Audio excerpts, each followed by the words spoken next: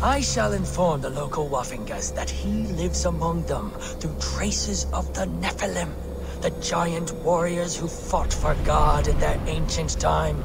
They have left his presence here on Earth for us to absorb his light. The light of angels that have been infused throughout the Earth. I feel his power. He calls me my beloved, and I am calmed.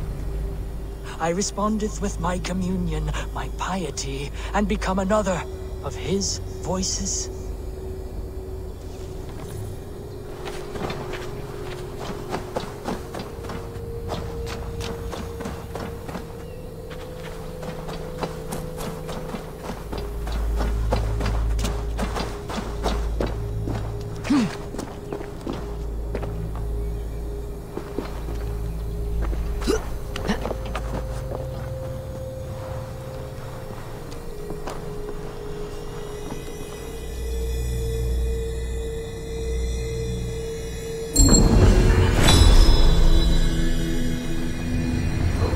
There is a force here.